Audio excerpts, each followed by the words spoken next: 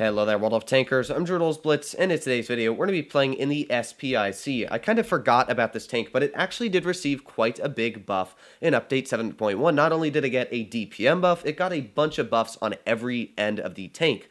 So in today's video, we're going to be playing the vehicle, seeing is it actually a good tank now. A lot of people liked it before. I never really liked this tank or even played it because whenever you go against them, they're pretty much the punching bag of tier 7. If you're in any other tank, you pretty much just shoot the SPIC and it falls apart. Two high explosive shells from any Russian uh, 122 in the game and you're pretty much taken out. So I don't have my crew maxed out. I will say that right now. I didn't want to buy gold just to max out a tier 7 tank I'm never going to play after today's video. So yeah, that is one thing I am going to say right now, but even with the crew not fully maxed out, we still should get a pretty good sense of how the tank plays in game.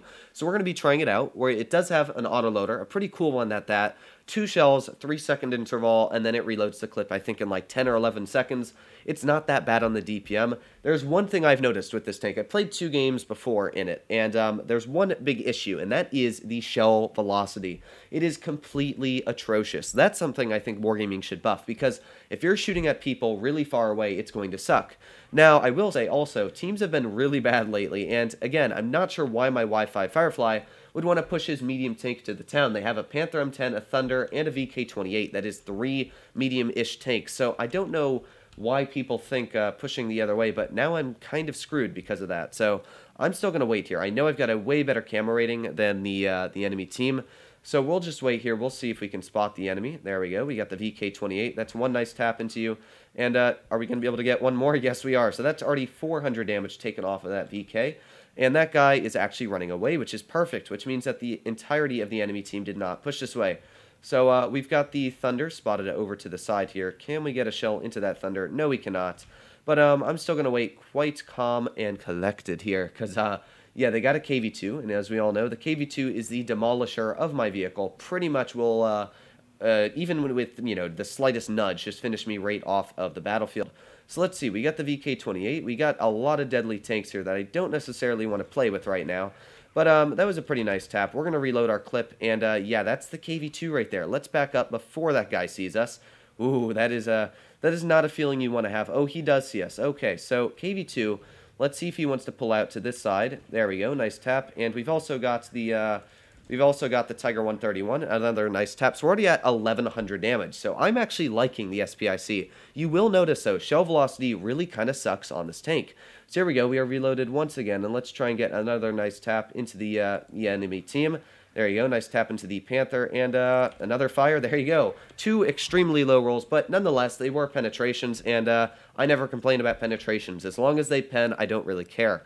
I will say, though, if at HE low rolls, then I might complain, because, yeah, sometimes HE can change the course of an entire battle. So there we go. Not only a fire on that KV-2, but can we get it? Ah, I wasn't able to finish him off. But you know what? I'll take the fire. That made up for our couple penetrations there that did not work. So, um, Let's see what else wants to play with us here. I'm going to wait for my shells to come back. We got that Tiger 131 once again here. There's one shell into the Tiger. Is he going to pull out once again?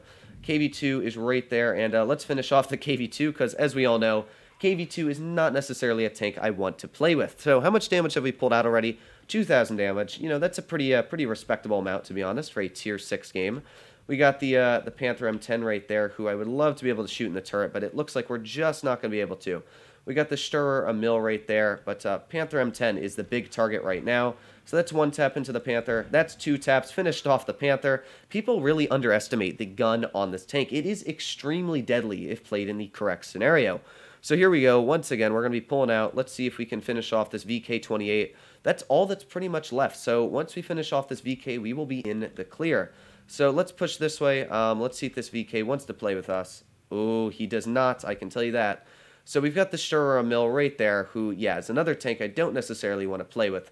So let's see if we can get this uh, the Sturer Emil. That's a guy, you know, I would love to get with HE. So there's one HE into the side of him, and uh, one more for the for good effort. Oh, that one did not pen.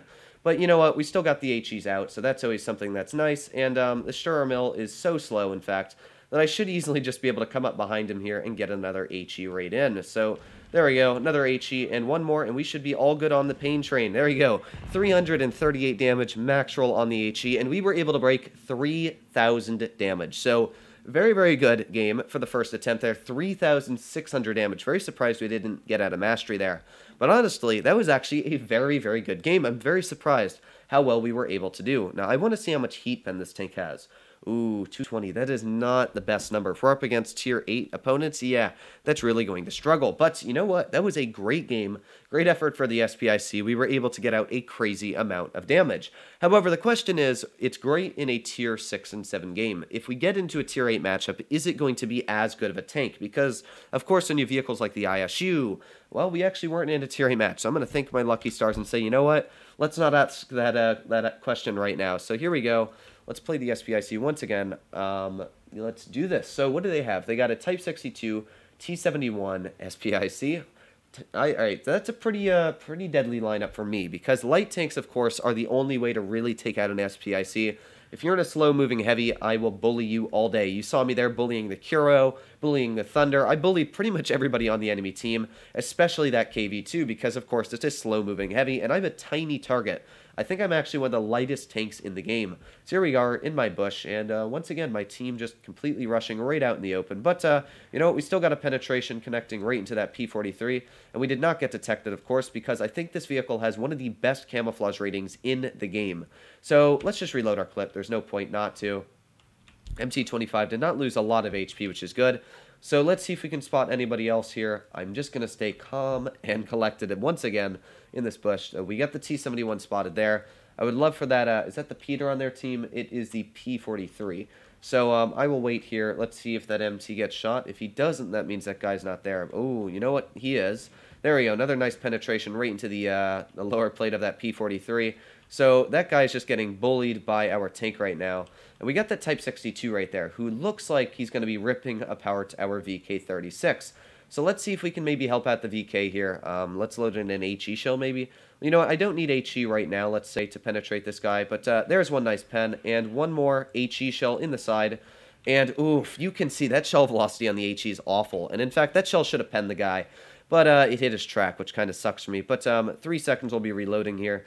Let's get this Churchill. There's one tap in, and, uh, well, we might actually be able to penetrate with HE, but I'm not going to bother. There's two shells, 1,200 damage racked up already. Our team is doing a way better job overall. This VK actually has a sense of what he's doing, and my MT25 is just ramming me because, uh, big brains. I don't understand people that play this game, but uh, there's one nice tap into that uh, Churchill. Let's even load a premium shell to make sure it pens. So there we go. That guy was taken out, and yeah, this is actually a pretty solid game. So, um, what do we have left? We have the T-71, who, yeah, isn't much of a threat. We got the IS, who my AMX should be finishing off. Type 62 is a one-shot, but we do have that SPIC. So, um, here we go. Let's go into battle, see if we can get this SPIC taken out. So, yeah, there you go, 269 damage. Nice little love tap, and, well, there at the SPIC. You can see just how easy it is to take out that tank if you do know what you're doing. We have the IS over here who just fired, so let's see if we can get, get a shell into this IS.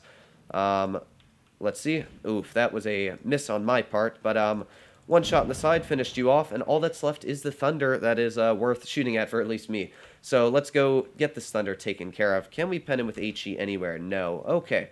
So let's get our shells into this thunder here. There is one shell, and um, one more. We should be all clear. There you go, another 200 damage. This is actually two very, very solid games, 2,604 damage. So the SPIC is actually a great tank. Even after the buff, I think it's wonderful. I think Wargaming did a good job. I actually enjoyed both of the games playing here, and that's usually rare for me, because usually a tank that kind of sucks before the buff kind of sucks after, because they don't buff the correct things. But you know what? The SPIC the only issue I will say with the tank is that it needs a uh, shell velocity buff. It kind of sucks at hitting its shells across the map. It's really something that kind of sucks. Also, a lot of you have been asking about the giveaway, so if you stuck till the end of the video, the video, yes. But if you stuck till the end, I uh, messaged the winner on YouTube, and I have yet to receive a reply. I told him if you don't reply in 24 hours, I will pick somebody else. So I have messaged the winner. Um, so if he doesn't reply, I won't be able to announce him. So I'll be picking somebody else in 24 hours if I don't get a response. So make sure you keep an eye on your Discord, uh, not your Discord, sorry, getting them all confused now. Keep an eye on your YouTube notifications because when I reply to you, you will get a notification. Just reply to me back how I'll be able to email you or something, and then it'll be the simplest thing. So other than that, um, yeah, I hope you guys did enjoy this video. As always, please make sure to click that subscribe button down below if you did enjoy it. Other than that, I hope you're all doing happy, healthy, and stay calm out there as well on the battlefields because teams have been getting kind of worse, I've noticed lately. But other than that, I'll see you in the next one. Stay happy.